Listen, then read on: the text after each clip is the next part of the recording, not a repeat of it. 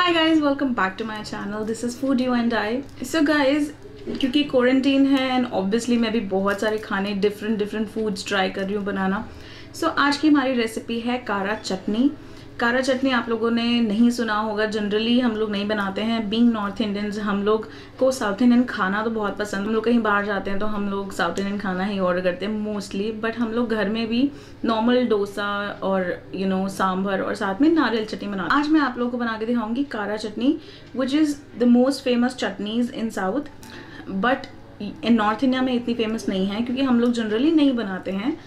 So yeah it is the easiest chutneys I would say जो सामान आपके घर में है, उस सामान से बहुत आसानी से और बहुत ही ज़्यादा अच्छी बनेगी। यू विल लव इट फटाफट चलते हैं किचन में और देखते हैं कैसे बनती है। सो गैस कारा चटनी बनाने के इंग्रेडिएंट्स बहुत ही ज़्यादा सिंपल हैं।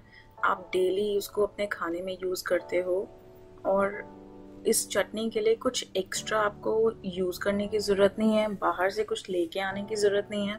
सब चीज़ें आपके पास अवेलेबल हैं घर में। इंग्रेडिएंट्स में सबसे पहले हमें चाहिए टमाटर।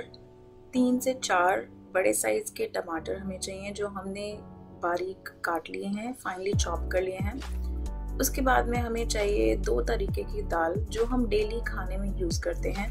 एक है हमारी उड़द की दाल द वाइट दाल। और दूसरी हमारी चने की दाल। उसके बाद में हम लेंगे गार्लिक क्लव्स कुछ गार्लिक चार से पाँच गार्लिक आप ले लेंगे। मैंने छोटे वाले हैं तो थोड़े ज़्यादा लिए हैं। उसके बाद में हम लेंगे लाल मिर्ची सूखी हुई। दो डाल सकते हैं, दो से ज़्यादा भी डाल सकते हैं, अगर आपको तीखा बहुत ज़्यादा पसंद है। उसके बाद हम लेंगे तीन से चार बड़े प्याज। फाइनली चॉप कर लेंगे। उसके बाद में हम लेंगे कड़ी पत्ता। कड़ी पत्ता फ्रेश लिया है मैंने। कड़ी पत्ता बहुत ही ज़्यादा फ्रेश है और मैंने अपने घर में आ, हमारे घर में प्लांट है कड़ी पत्ते का तो मैंने वहीं से कड़ी पत्ता लिया है। उसके बाद में हम लेंगे मस्टर्ड सीड्स मस्टर्ड सीड्स एक चम्मच तड़का लगाने के लिए। अब हम एक पैन लेंगे और पैन में थोड़ा सा तेल डालेंगे। मैं ऑलिव ऑयल यूज़ कर रही हूँ वन टेबल स्पून इस तेल को पूरे पैन में बहुत अच्छे से फैला लेंगे। हम सबसे पहले भूनेंगे हमारी दाल को। दोनों तरीके की दाल को हम डाल देंगे तेल में और बहुत अच्छे से चलाएँगे। ऑयल में उसको तब तक पकने देंगे जब तक वो अच्छे से ब्राउन नहीं हो जाती। हमें गोल्डन ब्राउन करनी है, कच्ची नहीं रहने देना है दाल को।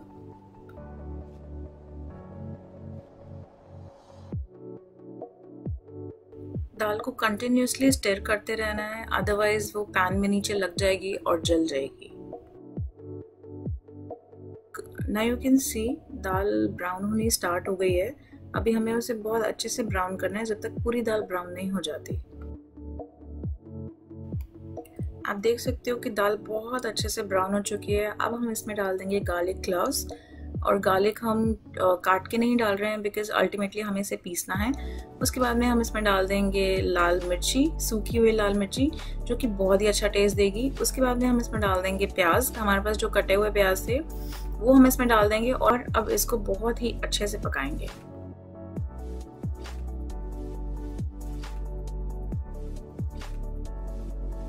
प्याज को हमें तब तक भूनना है जब तक उसका कलर चेंज नहीं हो जाता ट्रांसलूसेंट नहीं हो जाते, जब तक प्याज बहुत अच्छे से उनका कच्चापन रिमूव नहीं हो जाता, तब तक हम प्याज को बहुत ही अच्छे से पकाएँगे।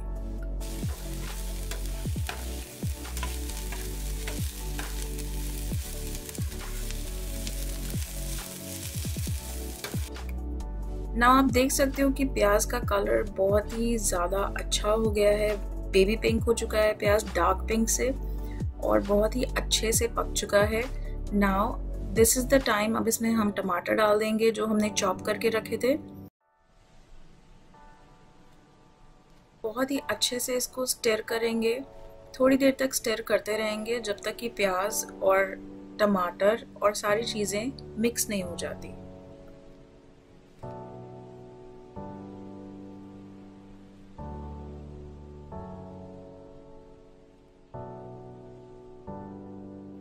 अब हम इसमें अपने टेस्ट के हिसाब से नमक डालेंगे।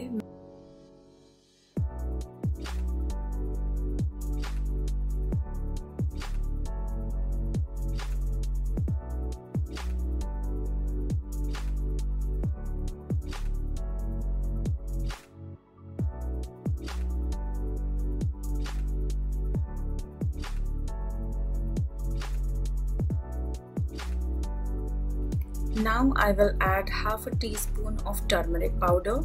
आधा चम्मच हल्दी भी ऐड करेंगे just to give the color.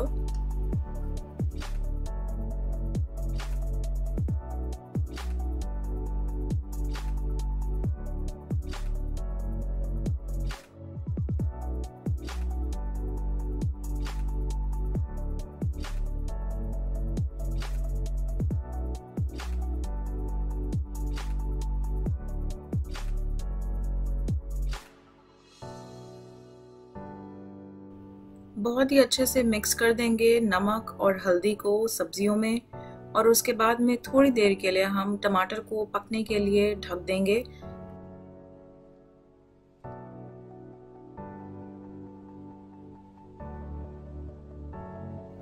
टमाटर को सात से आठ मिनट तक पकाने के बाद में हम लिड को हटाएँगे और गैस को बंद कर देंगे।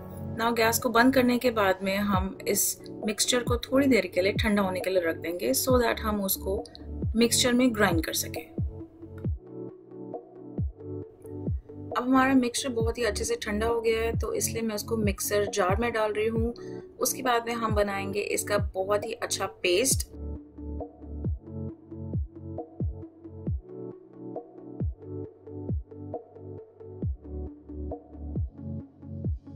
ना हमारा मिक्सचर बहुत ही ज़्यादा अच्छे से ग्राइंड हो चुका है। आप देख सकते हो कंसिस्टेंसी बहुत ही ज़्यादा अच्छी है।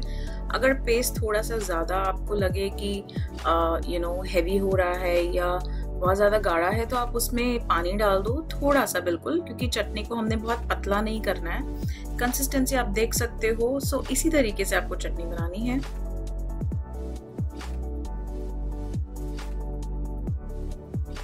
नाउ इट्स द टाइम कि हम अपनी चटनी में एक तड़का लगाएँ, बहुत ही अच्छा सा। उसके लिए हम पहले तेल लेंगे ऑलिव ऑयल अगेन थोड़ा सा उसके अंदर मैंने डाले हैं सरसों के दाने जो हमने लिए थे। उसको बहुत ही अच्छी तरीके से पॉप अप होने दें। अब हम इसमें डालेंगे हमारा फ्रेश कड़ी पत्ता जो हमने बहुत अच्छे से धो लिया है और थोड़ा ध्यान से डालें क्योंकि बहुत ज़्यादा पॉप अप करेगा क्योंकि गीला होता है थोड़ा बहुत। सो so, या yeah, बहुत अच्छे से इसको पकाएँगे।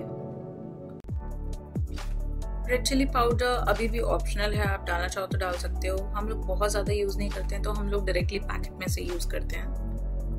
सो so गाइस तड़का हमारा तैयार है हम इसको चटनी के अंदर डाल रहे हैं और आप देख सकते हो चटनी का कलर कितना ब्यूटीफुल है एंड इट्स सो टेम्पटिंग आप इसको डोसा इडली नॉर्मल रोटी सब्ज़ी के साथ भी खा सकते हो।